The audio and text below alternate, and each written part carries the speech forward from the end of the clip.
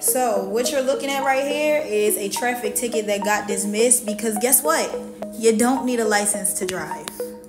Now, I will be teaching how I got this done, and I have a lot more proof on how I do this, how we get tickets dismissed without even having to go to court. If you're interested in learning this, y'all need to stop playing. Click that picture right there, click that link in my bio, and join my private community because I have free study sessions every month with my community where I share all of this information with as I always say, I'm not like these people on the internet just doing this for money. Like I, that's not me. I give you shit that really work. Ask the people in my group. I have proof. I got receipts. Go look at my page.